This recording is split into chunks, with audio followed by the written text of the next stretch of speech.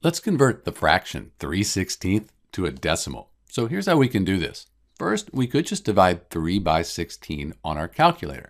When we do that, we get 0.1875. So the fraction 3 over 16 equals the decimal 0.1875. We could also do this longhand. We could take 3, and we want to know how many times 16 goes into 3. So we're dividing 3 by 16. 16 doesn't go into 3, so let's put a 0 and a decimal point and call it 30. 16 will go into 30 just one time. 1 times 16 is 16, so we subtract, we get 14. Won't go into 14, we're going to move over one decimal place, call this 140. Well, 8 times 16, that equals 128. So we subtract again, we get 12. So we move over, we're going to call this 120. 7 times 16, that's 112. Subtract again, we get 8.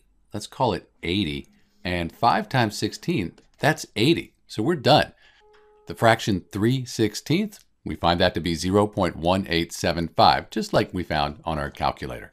This is Dr. B converting the fraction 3 over 16 to a decimal. Thanks for watching.